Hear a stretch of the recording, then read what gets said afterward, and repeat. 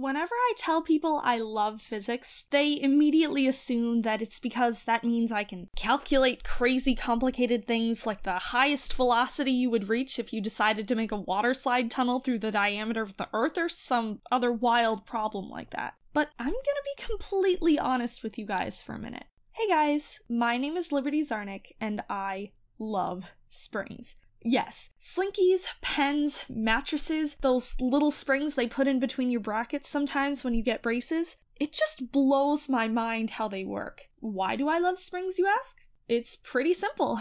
They're full of potential. no, seriously, that's the entire reason why springs act the way they do. Let me back up and give you the facts for a second.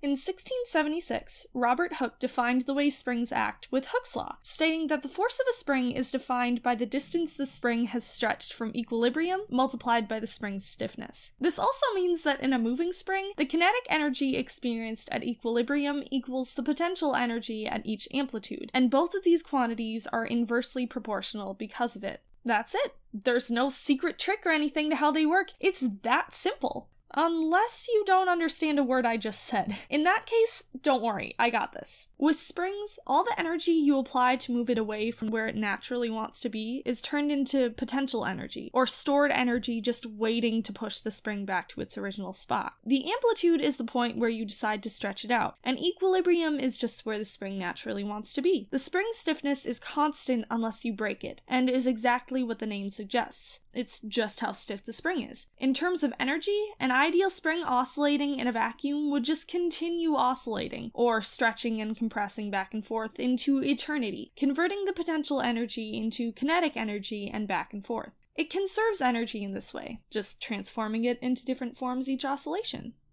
Now, that's cool and all, but it doesn't end there. Oh, no, no, no. With the power of springs, now any problem involving potential energy is super easy to solve. Think about it. If you really wanted to calculate how fast you'd slide through a water slide drilled through the earth, if it was even possible in the first place, all you need to remember is that gravity is just like a huge space spring. So if you translate the acceleration of gravity into the space spring's stiffness and the Earth's radius as the distance from equilibrium, you just made this problem 500 times easier to solve, and you sound like a genius in the process. And if you still need a reason to love springs, I personally love how they're always a little reminder that when you think you've hit your limit, that's when you have the most potential. So, do you get why I love springs so much now? Why do you love your favorite subject? I'd love to hear about it in the comments. If you like this video, be sure to let me know and subscribe for a new video every month. I love you all, and I'll see you in the next video. Pizza out.